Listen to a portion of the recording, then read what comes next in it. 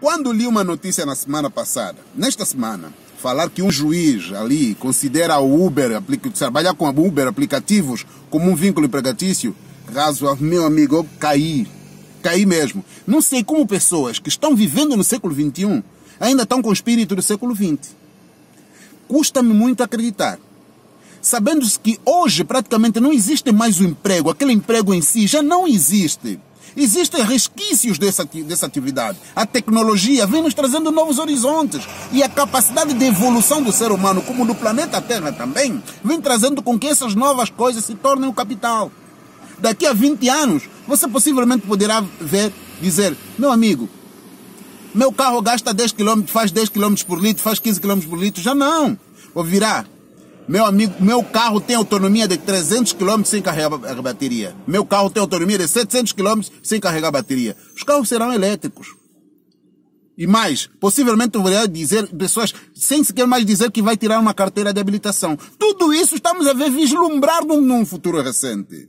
A economia que hoje, hoje está se ver aí da Uber, que o, pessoas possivelmente têm pouco pouco, pouca mente para vislumbrar ou para raciocinar bem, consideram isso vínculo empregatício, eu chamo isso empreendedorismo. De facto. Se você me diz que Uber não é empreendedorismo, então franquia também não é. Porque o franqueado precisa regras, levar regras do, do, do, do franqueador. Se ele não obedecer regras do franqueador, a franquia será retirada. Não é verdade? Então, como aplicativo, ele precisa manter que, os motoristas sejam bons com os passageiros, os passageiros sejam bons com os motoristas, fazendo com que a rede funcione, porque senão ele perde, perde, perde toda a movimentação, perde todo, todo o capital que tem. O mesmo acontece com, com o prestador de serviço. Ah, os clientes não são seus. Meu amigo, os clientes não são seus. Agora lhe falo. Uma empresa de prestação de serviço de, de, de call center tem clientes? Não tem. Os clientes são das operadoras de telefonia, quiçá. E ele não é empreendedor? Claro que ele é um empreendedor. Não é o facto de não ter diretamente os clientes que não seja empreendedor.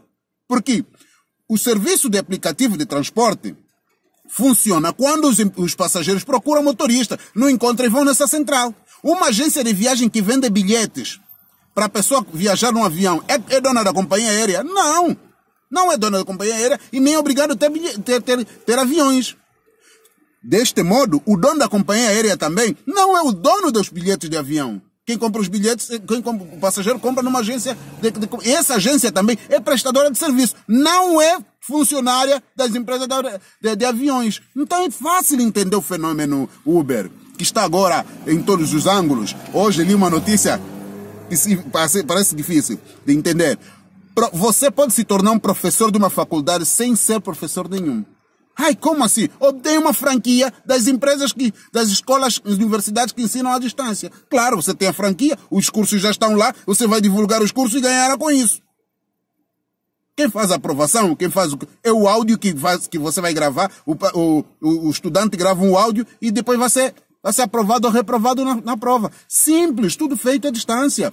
Todos serviços, produtos, consumo feito à distância. E para quê? Não precisa mais trabalhador. As máquinas estão tomando conta das pessoas, nos serviços, no trabalho, nos bens, produção de bens.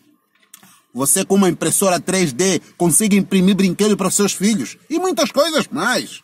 Então imagine, com toda essa tecnologia vindo no seu colo, você vai procurar um emprego. Meu amigo, abre o olho que a coisa está a mudar e vai mudar muito mais. Nos países emergentes, possivelmente esse vislumbre ainda é curto, mas nos países mais desenvolvidos já tem e muito, e muito conhecimento dessas coisas.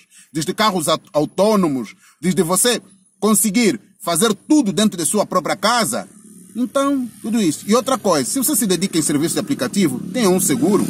Pague um seguro de vida, pague um seguro de saúde, faz uma previdência privada, isso sim, isso é o caráter da nova economia. Não, está a pagar pouco porque a economia brasileira está tá praticamente estagnada.